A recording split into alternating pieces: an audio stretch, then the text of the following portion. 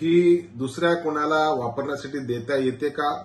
हा संशोधनाचा विषय आहे. कुठल्याही मिरवणुकीच्या दरम्यान स्वतःचं पिस्तूल दुसऱ्या कोणाला देता येत नाही आणि दुसऱ्याला देऊन जर त्यांनी तो फायरिंग केली असेल तर मूळ परवानाधारक जो आहे त्याच्यावर देखील शिस्तभंगाची कारवाई होऊ शकते. पिस्तूल ही आमदार सदा सरवणकरांची होती.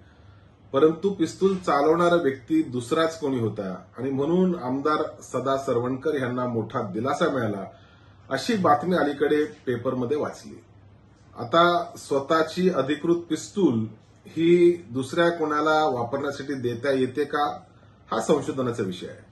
भारतीय शस्त्र कायदा एकोणीसशे एकोणसाठमध्ये स्पष्टपणे सेक्शन तीन मध्ये असं लिहिलेलं आहे की परवाना नु- नूतनीकरण असेल किंवा पिस्तूल दुरुस्ती करायची असेल अशा परिस्थितीमध्ये दुसरा व्यक्ती परवानाधारकाचं पत्र घेऊन त्याच्या उपस्थितीमध्येच ती पिस्तूल स्वतःकडे ठेवू शकतो असं भारतीय शस्त्र कायद्यामध्ये कलम तीन मध्ये लिहिलेलं आहे.